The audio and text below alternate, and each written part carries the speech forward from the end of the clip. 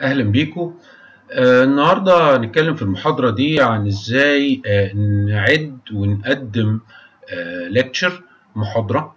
آه هنتكلم آه الحقيقة يمكن المحاضرة دي تبقى طويلة شوية علشان هندخل شوية في ال communication skills وال presentation skills وكلام من ده لكن أرجو إن هي ما تكونش آه مملة ليكم يعني. المحاضرة دي بعنوان Lecturing as a Delivering Method أو as an Instructional Method. الحقيقة هنحاول نتعلم أربع حاجات أساسية في كلامنا النهاردة. وهي إن إحنا إزاي نجهز المحاضرة. فهنتكلم على إيه اللي نعمله الأسئلة اللي محتاجين نعرف إجاباتها قبل ما نبتدي نعد المحاضرة وإزاي نعد المحاضرة.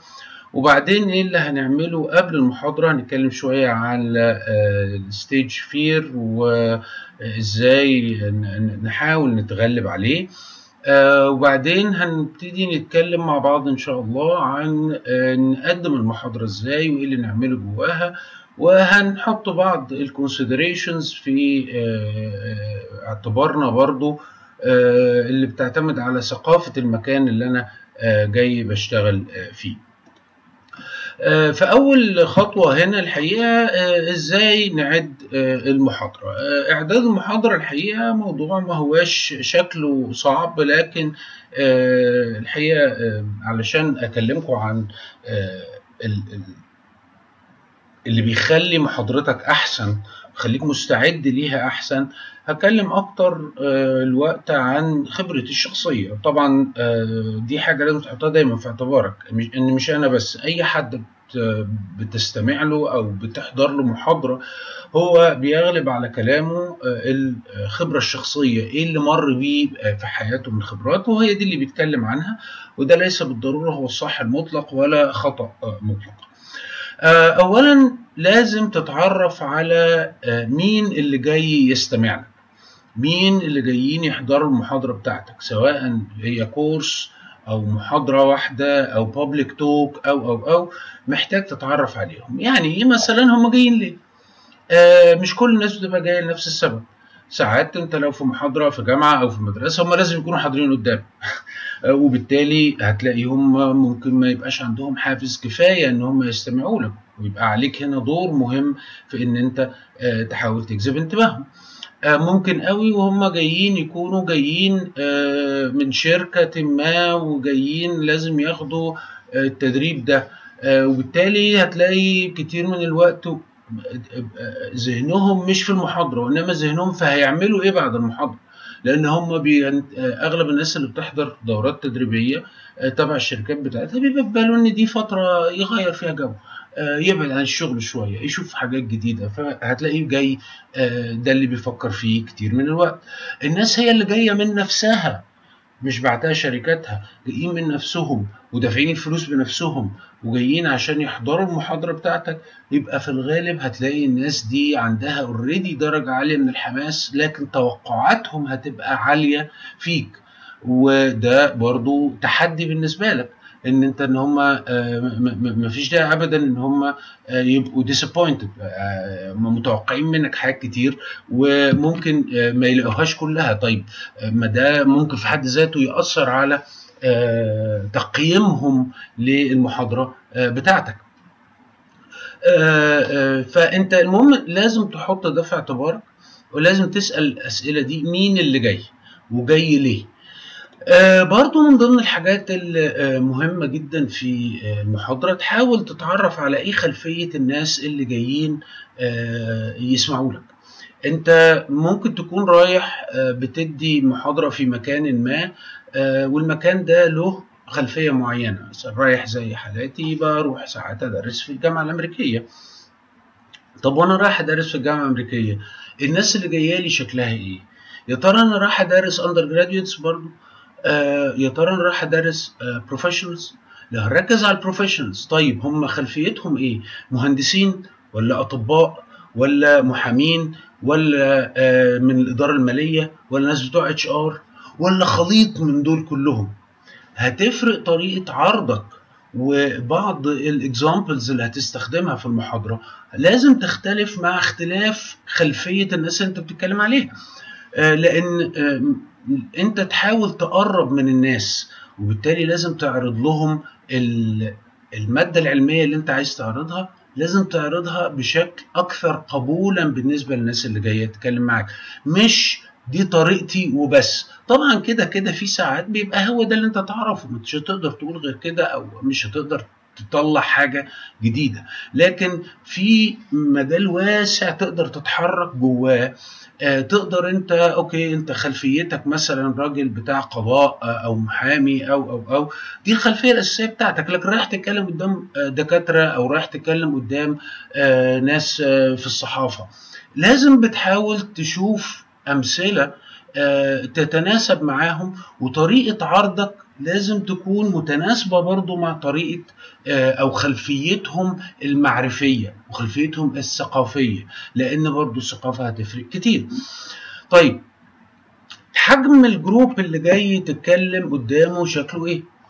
أنت لو رايح تتكلم قدام الاستاد في الغالب مثلا مش هتعمل planning إن يبقى في discussion مش كده ولا إيه؟ ومش هتفتح باب أسئلة. آه لكن لو قدامك ثلاثة أربعة في الغالب هتركز عليهم واحد واحد وهت وفي الليكتشر هتبتدي دايما تاخد منهم فيدباك لو واحد منهم حسيت إنه فصل آه سرح أو أو أو مش عاجبه الكلام آه هتقف معاه. لكن لو قدامك 20 30 آه ممكن واحد okay. لكن لما تلاقي كذا واحد منهم ابتدوا يسرحوا منك أو أو هتبتدي تستخدم techniques إن أنت تجتذبهم تاني ليك. برضو تخطيطك للمحاضرة. هتحط في وسطها activities مثلا هتحط في وسطها demonstrations هتفتح باب discussions زي ما قلنا هتعمل videos أنت هتتكلم لوحدك من غير صور من غير فيديوهات ولا إيه ولا إيه ولا إيه ولا إيه. المهم فدي كلها معلومات أنت بتحتاج تعرف قدر ما تستطيع منها. مش ضروري كلها تكون افيلبل مش ضروري كلها يبقى سهل إن أنت تحصل عليها أو أو تعرفها لكن اللي تقدر تعرفه منها اعرفه دايما اسأل مين ليه إزاي آه كم واحد وهكذا. طيب آه بعد كده آه يجي بقى انت ناوي تعمل إيه؟ آه النهارده إحنا بنتكلم انت رايح تدي محاضرة. المحاضرة دي فيها أكتر من عنصر. آه في العناصر اللي هنستخدمها في التدريب. آه سوري في آه تحضير المحاضرة. لكن في عناصر تانية لازم تحطها في بالك. انت هتقول لهم إيه؟ Okay؟ ففي جزء من المحاضرة عبارة عن informing انت بتقول لهم على معلومات. سواء حقائق أو آراء. وبرضه هنا وأنت بت inform خلي بالك إنك تفرق ما بين ما هو ثابت بتجربة أو باستنتاج رياضي أو أو أو وما هو رأي. وفي آراء تانية مختلفة. من باب الأمانة العلمية وأنت بتقدم محاضره إن أنت تقول والله ده رأي مجموعة من الناس وفي رأي تاني وأنا عاجبني الرأي ده. لكن لما تقول إن في أكتر من تجربة نتائجها كانت كذا دي facts بعد كده استنتجنا من النتائج دي إيه؟ ده رأي. خلاص؟ آه لكن مش بس كده طيب انت هتدي a piece of information. ماذا عن إقناع الناس بال information دي؟ آه ال information اللي data آه غير قابلة للنقاش. data آه درجة الحرارة 27 مئوية. آه ارتفاع المبنى 600 متر. دي حقائق ما فيش فيها نقاش. لكن أغلب اللي انت بتتكلم فيه في المحاضرة وارد إنه يبقى عرضة للرأي. وبالتالي لو أنت عايز تقنعهم بإن هم يتبنوا وجهة نظر معينة وده هنا عادة ما بنحاولش نلجأ له كتير في التعليم لأن أنت مش شغلتك إن أنت تقرر للي قدامك يقتنع بايه أو ما يقتنعش بايه وإنما شغلتك إن أنت توري اللي قدامك إزاي يفكر ويستنتج بنفسه إيه اللي ممكن يقتنع بيه أو اللي ما يقتنعش بيه. آه لكن ساعات بيبقى في حاجات آه أنت مثلا آه نظرية ما والنظرية دي ليها خلفيات كتيرة قوي مش وقته إن أنا أعرضها كلها. إزاي هتقنعهم بإن هم يتبنوا النظرية دي أو الفكرة دي لو إن من الضروري إن أنا أعرض فكرة وأقنعهم بيها وخصوصا لو ال presentation عبارة عن presentation لاقناع الناس بحاجة. المهم فيبقى جزء جزء من محاضرتك أنت بت inform الجزء الثاني من المحاضرة أنت بت persuade بس في جزء ثالث مهم جدا وهو ال entertain آه الناس بتزهق. الناس بطبيعتها بتزهق. محدش يقدر يفضل قاعد قدامك كده آه انت قاعد بتتكلم بتتكلم بتتكلم بتتكلم هيفصلوا هيزهقوا. آه وبعدين آه أنا مش ضروري entertain ان انت تجيب فرقة موسيقية ولا ضروري entertain ان انت تتحول ل stand-up comedian. وانما ال entertainment المقصود بيها إزاي هنكسر حاجز أو sorry نكسر الملل. اللي بيصيب أي حد بيستمع للي قدامه. فممكن من وسائل ال entertainment مثلا إن أنت تستخدم نكت okay. آه لكن لا مش مناسبة النكت أنا عشان entertain هبتدي ألعب في الخلفية بتاعتي إن في presentation أو في slides بتنزل أو في آه صور بتتغير آه وبالتالي الناس هيفضل انتباههم متجدد معاك. آه ممكن من ال entertainment فعلا ان بيبقى في فترة موسيقية فترة break هنخرج ونتكلم وندردش في حاجات خارج الموضوع. مهم كل ده جزء من تخطيطك للمحاضرة اللي أنت هتقدمها. ونوعية ال entertainment برضه هتعتمد على نوعية الناس اللي أنت رايح تتكلم معاها وبتتكلم معاهم فين. فيبقى انت كده الأول اتعرفت على الاودينس بتوعك مين اللي هيحضر المحاضرة وبيحضرها ليه وبعدين اتعرفت على هتقول إيه آه وهتقوله آه إزاي وايه النقط اللي محتاج تتكلم عنها. يجي بعد كده بقى النقطة تالتة وهي مهمة جدا برضو وهي معرفتك بنفسك. آه انت عندك قد إيه معرفة بالمادة العلمية أو المحتوى اللي أنت جاي تتكلم فيه؟ يا ترى أنت متخصص آه علميا ولا أنت عندك خبرة عملية كبيرة؟ آه ولا أنت يا دوب لسه جديد في الموضوع سمعت كلمتين ورايح تتكلم فيهم؟ آه النقطة دي مهمة جدا.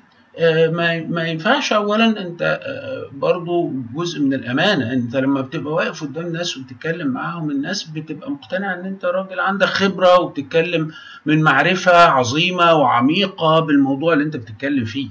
فأنت لو حاسس إن أنت ضعيف وهنا طبعا إحنا هنلاقي إن في جانبين مهمين. اولا لو أنت فعلا تقييمك لنفسك ضعيف يستحسن إنك ما تروحش تقدم آه ده مش معناه إن أنت في كل حاجة ضعيف. أنت في حاجة أنت فيها كويس. لو عرفت تعرف هي إيه الحاجة اللي أنت واثق منها إلى حد كبير وعشان تروح تقدم وتتكلم روح واتكلم فيها. آه حاجة أنت عندك خلفيات كافية وفاضل بس إنك تقرأ شوية وتتعلم شوية وتروح تتكلم فيها ماشي. مش هقول لك لا. لما يبقى جزء من الموضوع اللي انت بتتكلم فيه وبرضه هنا الأمانة اللي بينك وبين الناس لازم انت تحطها في اعتبارك فقدر معرفتك يفرق. برضه طيب مش بس قدر معرفتك انت قدمت المادة العلمية دي قبل كده ولا لا؟ انت عملت المحاضرة دي قبل كده ولا لا؟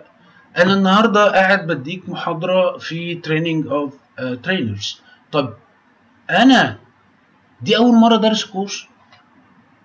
ممكن. ما هو it happened at some point. يعني يمكن أنا النهارده واقف بتكلم قدامك أو بسجل المحاضرة دي قدامك ودي مش أول مرة أتكلم في الكورس ده. لكن أكيد كان في مرة هي أول مرة أقدم الكورس ده. وانت هتيجي مرة أول مرة تقدم الكورس ده فده طبيعي. ال familiarity بتاعتك بالموضوع وطريقة عرضه والأسئلة اللي بتتعرض عليك من الناس اللي, اللي ممكن تسمعك وانت بتتكلم بتفرق.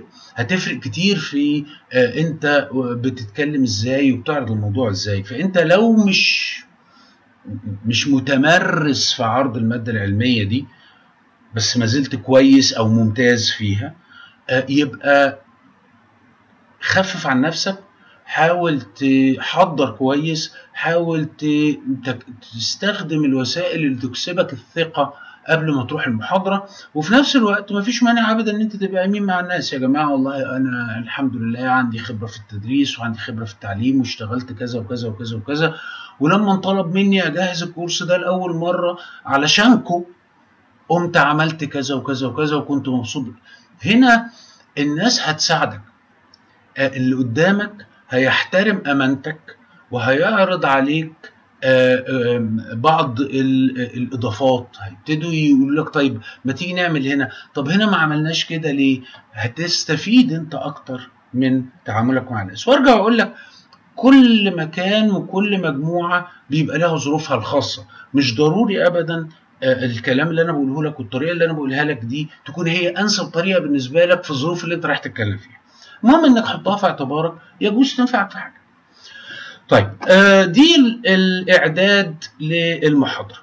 آه أنا هقف هنا في الفيديو ده وفي الفيديو الجاي هنبتدي نتكلم مع بعض على تجهيز المادة اللي هتقدمها في المحاضرة اللي هنسميها ال teaching aids على أساس إن الموضوع ده هنتكلم فيه شوية بقى عن إزاي تجهز ال presentation إزاي تجهز فيديو إيه ال tools اللي موجودة وكلام من ده. فأنا هحطه في فيديو لوحده. أرجو إن أنت الجزء اللي فات من المحاضرة يكون كان مفيد. شفنا إن أنت محتاج تتعرف على ال audience بتوعك قبل ما تروح. وبعدين محتاج إن أنت تشوف هتوصل لهم المعلومة إزاي من خلال الجزء ال information والجزء ال persuasion والجزء ال entertainment وبعدين شفنا برضو إن أنت لازم تشوف بينك وبين نفسك أنت قد إيه تعرف في الموضوع وقد إيه أنت متمرس في الموضوع. أرجو إن شاء الله إنك تكون مع إنكم تكونوا معايا في الفيديو الجاي عشان نتكلم على ال preparation of the teaching aids شكرا وأشوفكم على خير.